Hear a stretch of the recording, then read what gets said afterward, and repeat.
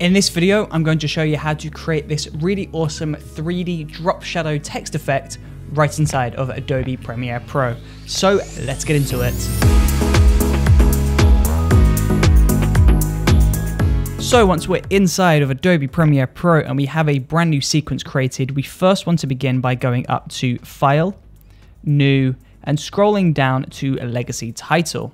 And we can just press OK on this. And then inside of the Legacy Title window, we want to type out a word of your choice. So we'll select anywhere in this safe zone here, and we can just type out a word of your choice. So I'm going to do wow. We'll change the font. We'll make this nice and bold. We'll increase the size of this, make this quite big. And then we'll center that up by using these two center buttons and we'll exit the legacy title window and drag that title onto your sequence. From here, we're going to go into effects and we're going to search for drop shadow. So the drop shadow effect should be in perspective, but if it's not, then you can always just search for it like I did. We'll drop that onto our title, and this is where the magic begins. Now, by default, the background of your video inside of Adobe Premiere Pro will be black, and unfortunately, the default color of the shadow color is also black. And this means if we want to see the effect, we're going to have to change the color. So in Drop Shadow, we'll go to Shadow Color, we'll select the black box, and we'll go down to a color of our choice. So I'm going to select a blue. I'll select this blue here. We'll press OK and now we just want to go and check the other settings. Now you want to make sure that your opacity is set to 100%. You want to make sure that the direction is set to 135. And then when you come down to distance, you want to make sure that it's set to zero. Now pull your cursor to the very beginning to zero seconds exactly, and we'll create a brand new keyframe. So we'll select that stopwatch icon there. Now we'll move to two seconds in. And we're going to create a brand new keyframe by changing zero to two.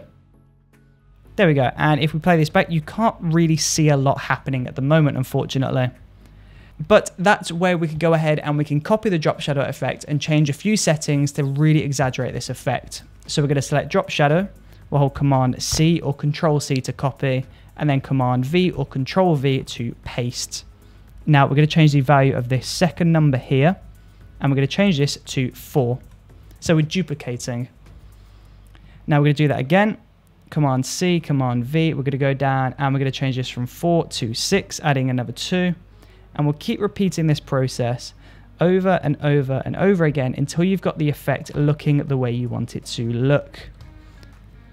Now, if we play that back from the very beginning, you can see we've got this really cool 3D text animation effect happening. But if that was a little bit too slow for you, then that's completely fine.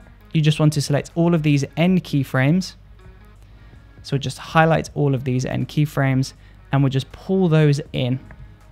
Now, if you decrease the gap between the keyframes, that's going to make the animation quicker, as you can see.